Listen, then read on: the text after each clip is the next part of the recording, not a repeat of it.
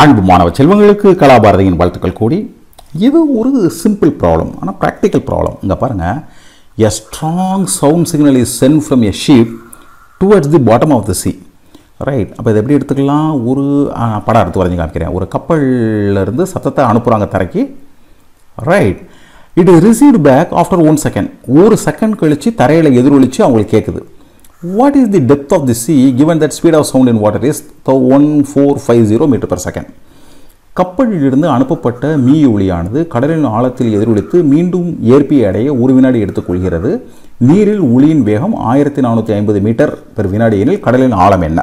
So ஒரு diagram போட்டோம்னா நம்ம யோசிக்கிறதுக்கு என்ன இருக்கும்? வசதியாக இருக்கும். மனசுலேயே செஞ்சிடலாம். இப்போ கொஞ்சம் பேர் செஞ்சுருப்பீங்கன்னு நினைக்கிறேன்.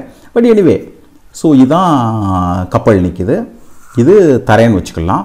சரியா? லை இங்கேருந்து சவுண்டை அனுப்புகிறாங்க சவுண்டு போயிட்டு திரும்ப இங்கே வருது.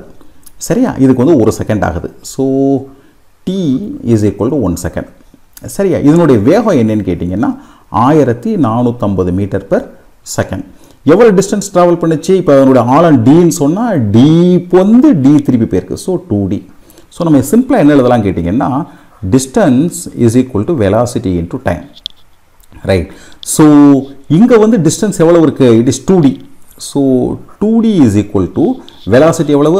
ஆயிரத்தி நானூற்றம்பது இன்ட்டு ஒன்று ரைட் ஸோ ஆயிரத்தி நானூற்றி ஐம்பது மீட்டர் டூ டி அப்போ டெப்த் எவ்வளவு?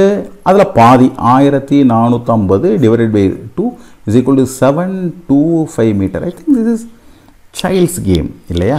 சிம்பிள் ப்ராப்ளம் நினைக்கிறேன்.